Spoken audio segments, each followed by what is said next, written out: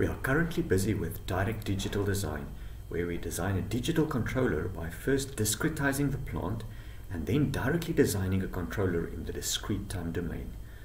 In order to design such a controller, we have to draw up specifications in the discrete time domain and then design a controller such that the closed loop system comply with the specifications.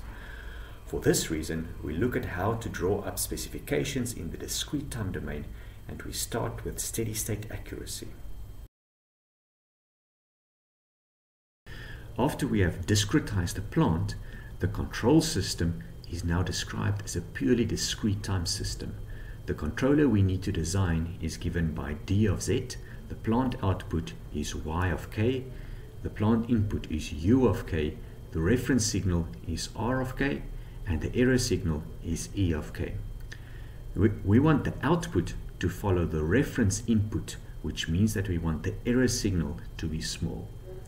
In this video, we express the steady state value of the error signal in terms of the plant transfer function, the controller transfer function, and the input signal. We then use this at a later stage to design the controller. To find an expression for the steady state value of the error signal, we first find an expression for the Z transform of the error signal. The Z transform of the error signal is the Z transform of the reference input minus the Z transform of the output, which we read off from the block diagram.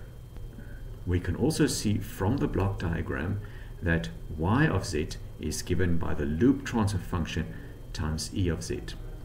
After some easy manipulation, we get that the z transform of the error signal is the z transform of the reference input divided by 1 plus the loop transfer function. We can now use the final value theorem to write the steady state value of the error signal, which is the limit as k tends to infinity of signal E as the limit as z tends to 1 of z minus 1 times E of z. We now use the expression we obtained on the left hand side to write the steady state value of the error signal as shown here. This result is valid for any reference input and any loop transfer function, but without knowing this signal and this transfer function, we cannot say much about the steady state value of the error signal. For this reason, we now look at three specific reference input signals and we analyze the steady state accuracy for each of them. The first reference input we consider is the unit step, whose Z transform we can write from Z transform tables as Z divided by Z minus 1. Using our result of the previous page, we can write the steady state error signal as shown here. Z minus 1 cancel out, and after applying the limit to the numerator and denominator, we get 1 divided by 1 plus the limit as z tends to 1 of the loop transfer function. We now define the position error constant kp as the limit as z tends to 1 of the loop transfer function, which allows us to write the steady state error as 1 divided by 1 plus kp. To illustrate these concepts, let's work through a simple example. We have previously seen that the continuous time plant model with transfer function 1 over s plus 2 and sampling period of half a second gives us this transfer function for the equivalent discrete time plant model. Also suppose we have a proportional controller given by d of z equal to 2. To calculate the steady state error of the system to a unit step input, we first calculate the position error constant as shown here, which turns out to be 1. The steady state error is then 1 divided by 1 plus 1, which is a half. The unit step reference input is plotted here and it is fairly easy to calculate the output signal which is plotted over here. It is quite obvious that the output signal tends to a half and the error signal which is the difference between the reference input and the output signal tends to a half. This confirms our calculation above. The second reference input we look at is the unit ramp or constant velocity input. The unit ramp is defined as k times t times mu of k and we can read its z transform off from the z transform tables. Using the result derived from the first page, we can write the steady state error as shown here. We now apply the limit to the numerator and the denominator and after we calculate this limit and this limit and divide the numerator and denominator by t, we get this expression. We now define the velocity error constant kv as the limit as z tends to 1 of z minus 1 over t times the loop transfer function and we can write the steady state error as 1 over kv. We can visualize the scenario as follows. The unit ramp input is shown here and a hypothetical output is shown here.